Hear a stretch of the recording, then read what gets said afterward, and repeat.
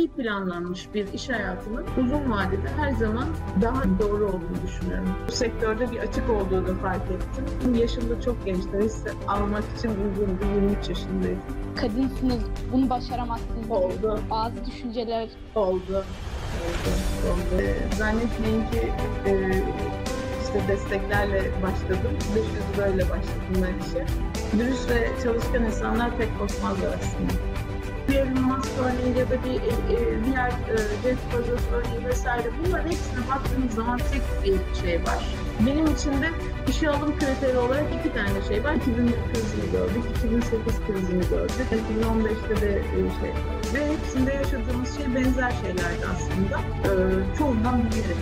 Biz geçen sene çok büyüdük mesela yüzde Ticaret hayatında bir şey vardır. Karla zarar kardeştir diye. Öyledir. İnanın ki hiç kimsenin yeri doldurulamaz değildir. Ben dahil. En büyük yanılgılardan biridir. En büyük. Her iş monotondur. İş hayatında kadın olmak zor. Hakikaten zor. Ee, ben her zaman iyiliğin kazandığına inananlardanım. O yüzden iyiseniz muhakkak kazanıyorsunuz. Kötüler her zaman kaybediyor.